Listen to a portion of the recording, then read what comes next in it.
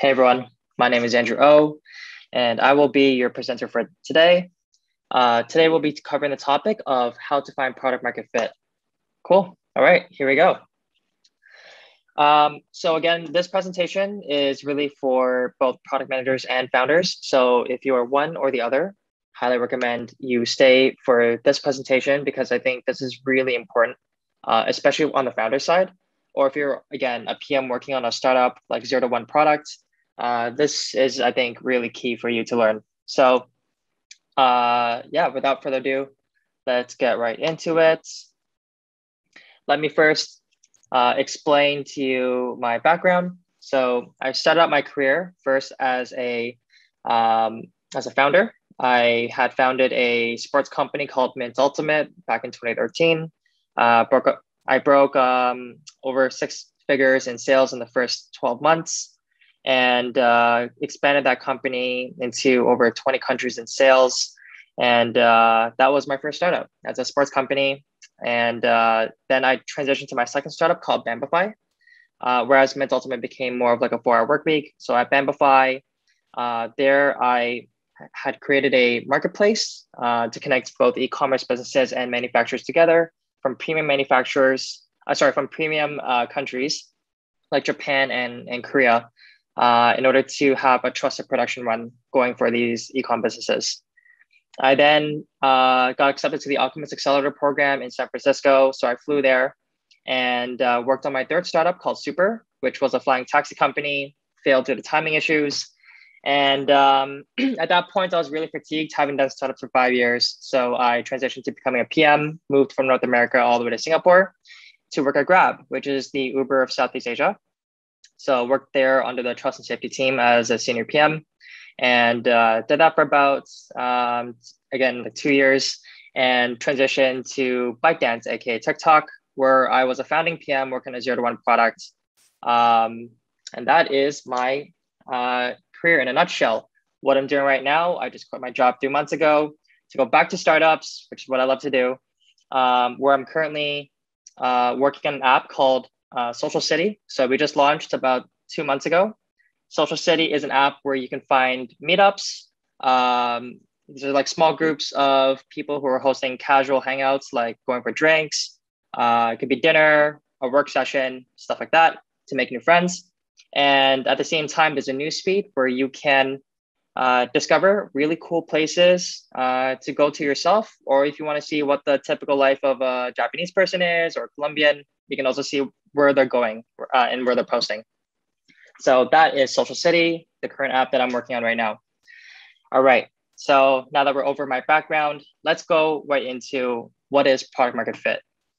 This is a question that has a lot of interpretations. It has a lot of different definitions uh, that are used by various people, and people have different ways of trying to measure it as well. Um, I will give you my interpretation and my take on it.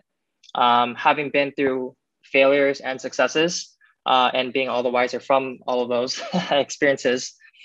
Product market fit comes down to one simple truth do people use the product? That is it. Uh, so when it comes to other things like NPS, when it comes to um, you know CSAT scores, uh, when it comes to, even to the user feedback, none of that matters. What does matter is retention. Do people actually use the product? So you need to measure that um, and you can get the feedback you know from the users themselves to kind of like see you know how people are engaging the product how they feel about it make any iterations you need to. But really it, again i can't stress this enough it comes down to that simple truth do people use it? And i'll give you another great example product market fit workday. I think it's generally known across the tech community to be a really shit product. Everyone hates it.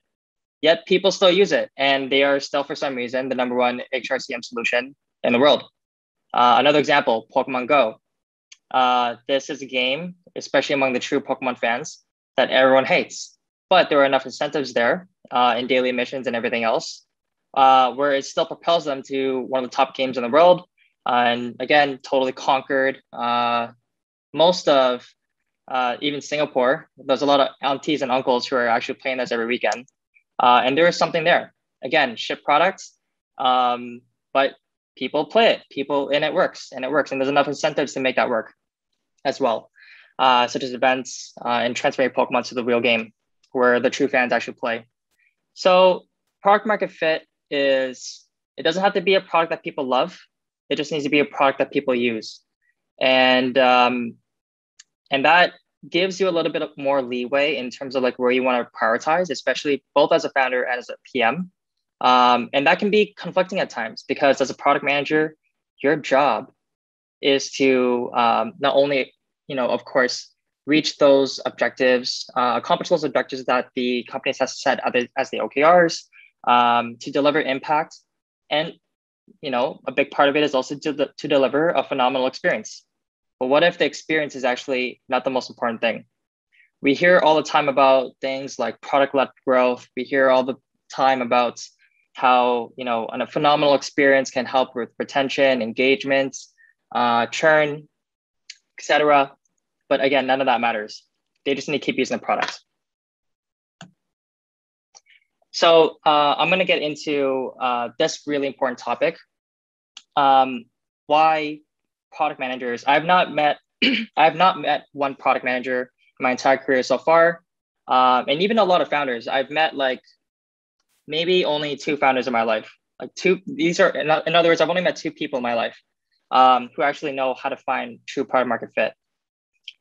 Uh, but I'll get into why I think most PMs don't know product market fit and how to really get into it or how to achieve it.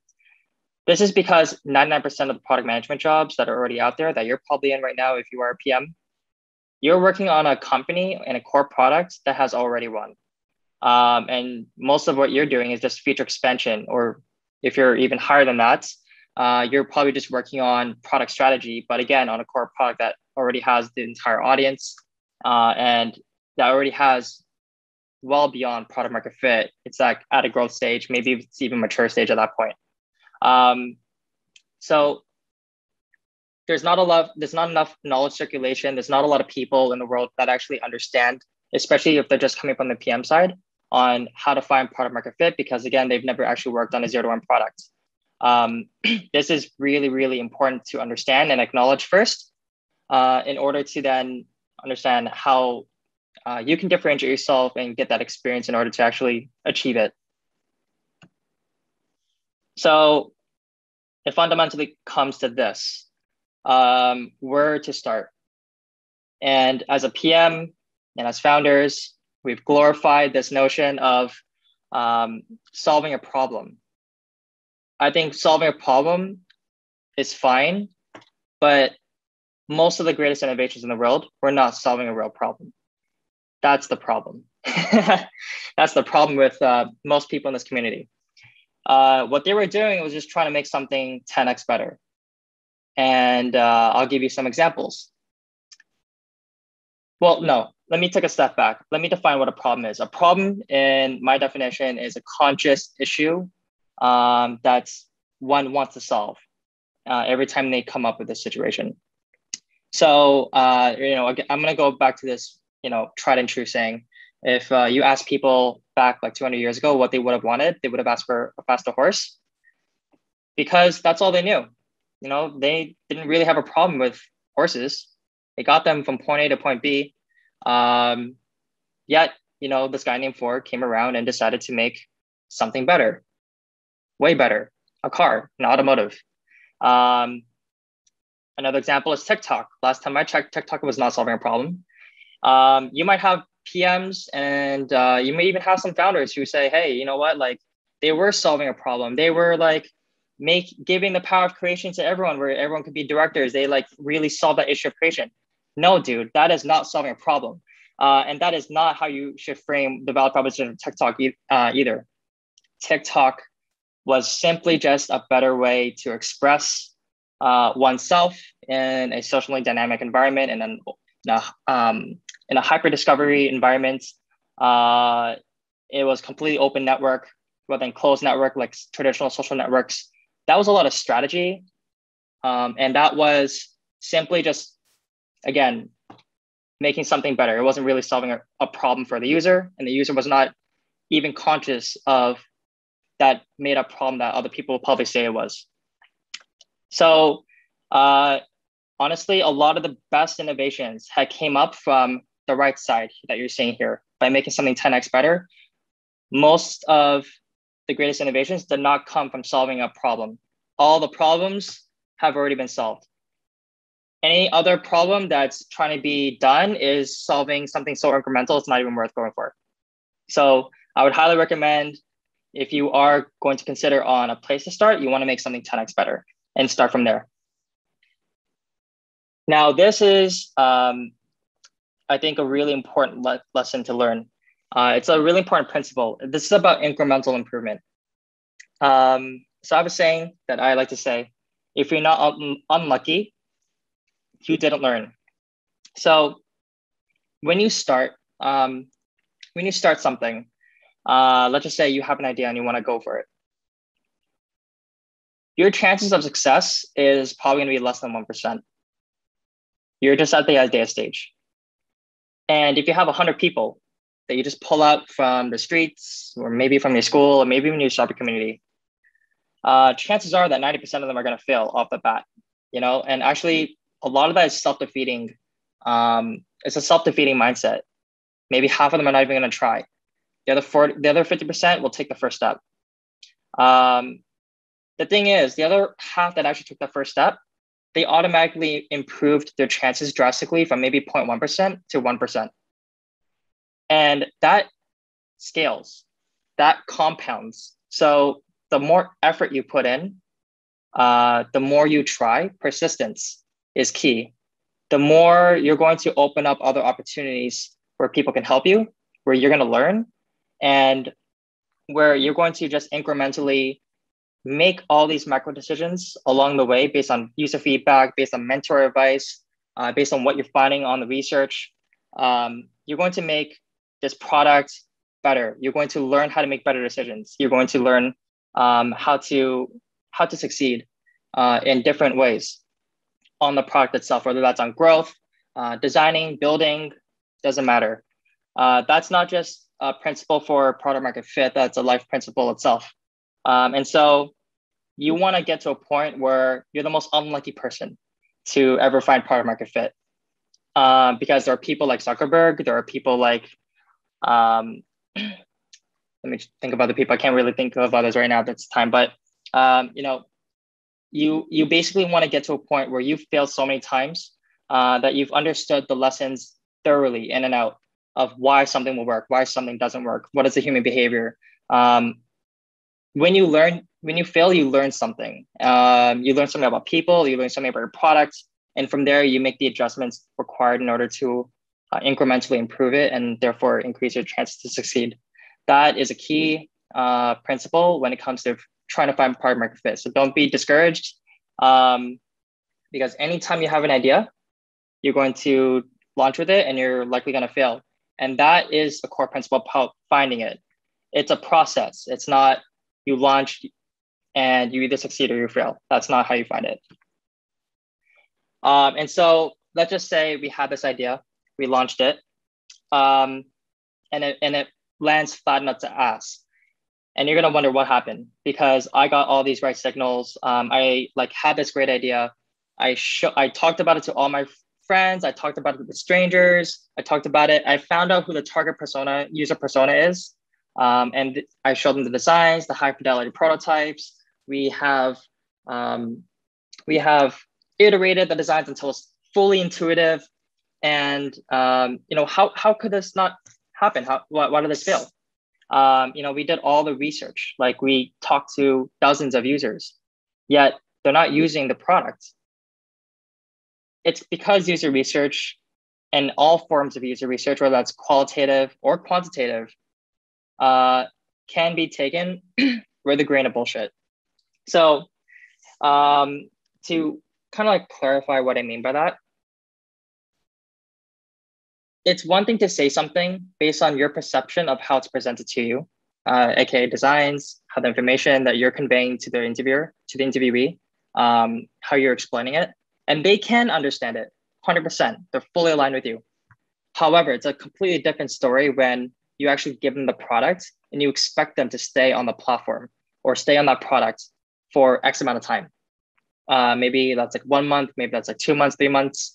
Um, their behavior is going to change. And I will give you some examples later on on um, how I also had recently gone through this with Social City um, and had come to realize that, again, user research uh, kind of went out the window there.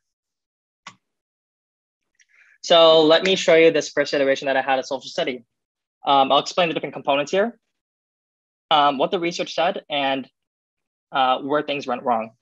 So again, Social City was a way for people to find both meetups and uh, actually was a place to find people as well that you can just find on a map view and directly message, um, or you can just request to attend uh, the meetup itself.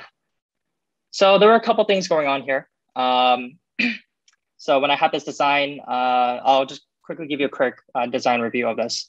There's a public view. So these are just like, you can see the entire world, um, all the meetups that are happening. You can see the people uh, that are all around you, or you can filter for just your friends, uh, AKA people that you're following uh, just to kind of like have a, um, a vetted view of the only people of only the people you care about.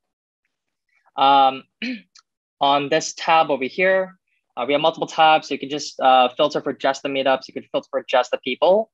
Uh, and we had another thing here called open to meet. So if you like tap on yourself, you have an option that will pop up saying, are you open to meet? And if you are, you'll have like a little fire uh, icon here um, to indicate to the people that you're open to meeting right now. So people thought that was really cool. Um, I would totally love to um, just, you know, uh, be open to meet.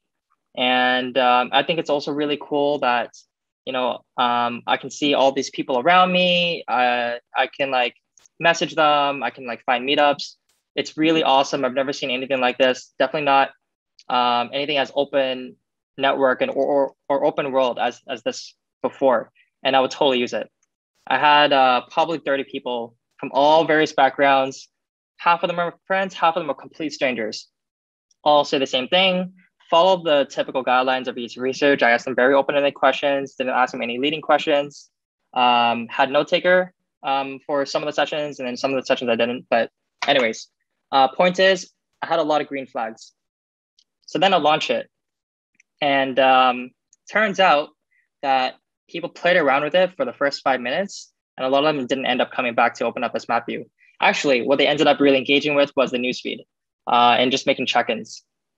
Uh, and that was when I realized there was something wrong here. So that's the key thing. Um, what ended up happening, the results, they ended up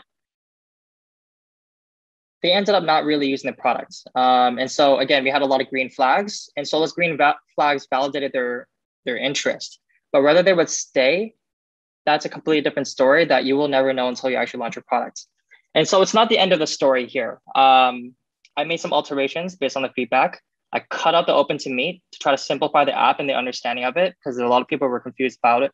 About it, um, although they said they really liked the concept. Um, and then I also uh, got rid of all, so I just defaulted uh, only to the Meetup tab first, and then if people wanted to also see other people, they could still message them or, or filter for them right there. And um, turns out that people still didn't really use the app. Um, and because there was a sense of stranger danger that was there. And also they were a little bit, um, uh, they were a little bit um, confused as to like how they can let their intentions be known of like what they're really on the app for, as well as what they want to message for. So I iterated a second time. So over here, uh, this is like a profile view. So you can see that this person's here for all three reasons, for networking, dating, and for friendship. Um, and so what you can do is you can uh, message this person. Oh, I'm sorry, I'm a, this is like the wrong design. Um, hold on. So you can message this person, and I'll show you here. And when you message, when you click the message button, you're going to get um, this pop-up that says, are you, uh, you can choose a chat topic uh, for social, dating, or networking. And when you choose that chat topic, it will come up over here saying, Andrew started a social chat, casually get to know each other. So this makes it really clear off the get-go when you're messaging someone random from the map view of what you're um, of what you're messaging them for. And uh, and then you can manage your chats all in the inbox and it'll have the different icons to indicate and remind you uh, what the topic of the chat is. A lot of people thought that was a really clever way to uh, get not only address the stranger danger issue, but also to address the awkwardness of um, making your intentions clear on what you're messaging them for.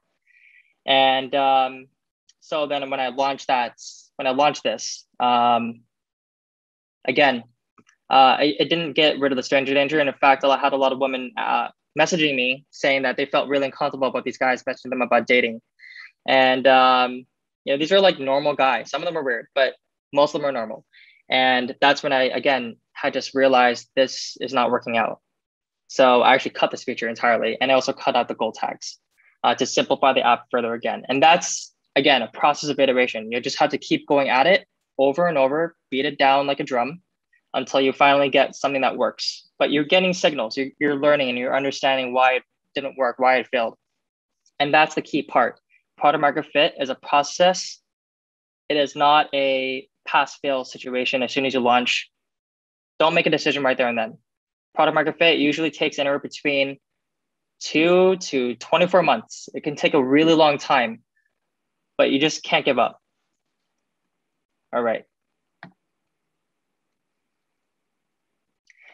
Um, so again, you just got to iterate your way to product market fit um, as long as you have a core product, that core product can always be adapted.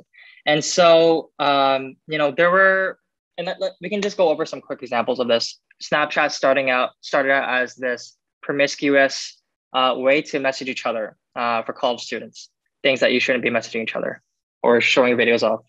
And um, YouTube started as a dating platform. Uh, hell, I started out as a, what you just saw there, uh, a map-based social product. Um, and none of those products are what they are today. Instagram was a Burbn photo sharing app, and now it's a life sharing app and so much more. Um, as long as you have a core product, you need to get the feedback and you need to continuously iterate until you find that fit.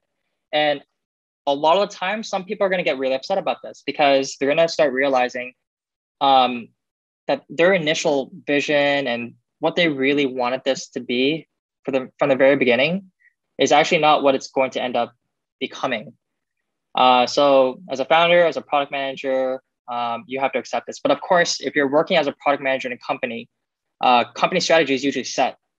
Whether that's from the strategy team, the CEO, there's a lot of alignment that happens on the C-suite um, level or the exec level. Um, and so usually if that strategy is really towards that one way, um, unfortunately that very often means that you can't deviate from it and most likely uh, you're going to fail. And sometimes again, product market fit is not always about products. Product market fit is also about strategy. It's also, it's also about, um, it, it, it's about the strategy, the operations and everything else. Um, and so product is only one core part of that. And as a product manager, you're going to be very limited in what you're um, subsequently going to be able to do with that. Um, so again, uh, core product, once you have that, um, keep testing things, keep experimenting, uh, keep interviewing your users, stay really close to them. Because for you, again, it's you're going to be habituated to the product over and over and over again. You're the one that works on every day. You're the one that looks at the designs every day. So you can never see it as a new user. And if you can see it as a new user every day, it probably means you won't be remembering this discussion because uh, because it means you have a learning disability. So uh, that's what learning is. That's what habituation is. Um, and so keep adapting, keep iterating. I'm going to now give you some uh, what I call safe areas on kind of like some some kind of like a little little tricks that you can use in order to uh, have a direction uh, of a product in a way that's uh, that may more likely have some sort of fit. So number one, existing behavior. Um, you want to try to go for something that people are already doing. Uh, so observe them. Actually, I think Steve Jobs did a really great job at this. Uh, there is this kind of like BS um, uh, saying that he, he never did user research um, he may not have been doing what product managers and founders are doing today, you know, which is where, you know, you just go up to them and you're like, you're asking a ton of questions and you're showing them your designs all the time. He did a lot of research. he just wasn't talking to them, but he was observing them. He was observing their behavior. And that, and from that, he was able to come up with great ideas that actually ended up doing some really magical stuff. And he was also testing a lot. Uh, after that, after he got the idea, then he started testing a lot inside the company uh, with the with, with his employees. So again, um, existing behavior, this is really key. Understand the motivations, actually see what they're doing today, whether that's like how they're going to go eat, um, how they're using utensils, how they're traveling, um, any kind of action, there's always an opportunity there. Um, and there's an opportunity to learn. So go after things that they're already doing. Um, because behavior doesn't really change. And to create new behaviors is extremely hard. Second, uh, in terms of aside from what they're currently doing, uh, there is, uh, we are human beings, we are really emotional um, uh, beings. And so you can always try to feed the ego. What I mean by this, classic social media, um, they have found great ways to feed the ego. So if you're making any kind of like social component or social virality component into your product, um, you can always try to feed the ego itself. Um, all these feel good features, credentials, credibility within the network or the platform that you have. Um, so for example, you know, being a coach on Exponents, um, being a, um, a superstar LinkedIn profile, uh, having a uh, check mark on Instagram, uh, having a ton of followers, having a ton of engagement like likes and comments on your posts. All of that is feel goods and uh, it elevates you to thinking that you're a little bit higher in society. Feed the ego um, if this part is applicable to you.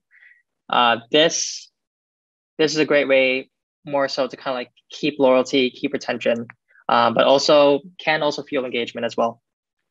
And the third area um, is to make a dream come true. So I'll give you some quick examples of this. ClassPass, when they first started out, you could go to um, you can go to studios unlimited times a month, and then became unprofitable. But um, that's how they started out, and it was a dream come true. You could just go to any gym, feel like a king or a queen, but you can just go anywhere, walk in anywhere, and just do a class. That was a really magical experience.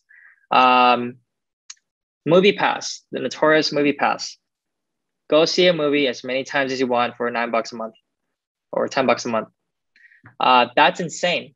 Um, and there were a lot of people that took advantage of that and they thought movie pass was the best thing in the world. Uh, and that led them to getting a ton of traction, ton of growth, ton of users just through word of mouth. You can always make a dream come true. Uh, and sometimes it works and sometimes it doesn't. Uh, when I mean it doesn't work, uh, usually when you make a dream come true, it is uh, it's a dream that doesn't come true for one side, and usually that's the business side.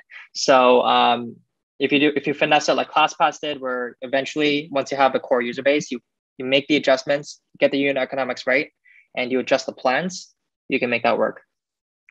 So these are some safe areas, um, best practices that uh, I think a lot of people should be considering when they're, um, you know, again, thinking about how can they find product market fit in this idea or this space that, um, you know, we're considering. All right, so just to conclude, uh, just to summarize, um, what the process of how to find product market fit. Again, it's a process. It's an iterative, long, tedious process. You need to keep going at it. Don't give up um, and your chance of success compounds. If you're a founder, you have all the freedom in the world to keep going at this. If you're a product manager, um, no matter what level you are, uh, that's going to be a lot different because again, you're going to be confined to a certain space, a certain area, and so iterating yourself to finding that product market fit means that you may very likely have to deviate entirely from the strategy. So what you can do as a product manager is you can try to upsell and manage upwards. Um, to convince leadership of another potential opportunity in new space, uh, if need be. Um, but again, you know that's also really risky for the for the uh, for your managers, for your leaders, because um, it's uncharted territory, and uh, it means throwing in resources to something that has no guarantee of success. But then again, most things um, that made it really far had even worse odds. So uh, that's something for them to digest. But and it's also up to you and how you're able to upsell that to them. Uh, secondly, uh, again, uh, user research can be can really be full of shit. Be very careful about um, the kind of feedback that you're getting, or rather, if you, the feedback you get in the ideation stage and the design stage is always inevitable. Um, it is going to be what it is, but just don't set your expectations too high if you get a lot of green flags. Otherwise, it's going to really put you down. Um, so don't be too discouraged when you launch it, thinking it's going to work and it doesn't. And then finally, go after greener pastures. Um, try to go into the safe areas that we mentioned before, existing user behavior. Um, you can go after feeding the ego, or uh, you can kind of make a dream come true in a product, and that itself uh, can uh, really help get a lot of traction in the early days, and then you can make the adjustments later on.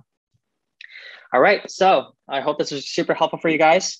If you want to follow up, if you have any questions, you can uh, contact me through the details below. Uh, please give me an ad on LinkedIn. And um, thank you so much for joining, and I will hope to see you soon.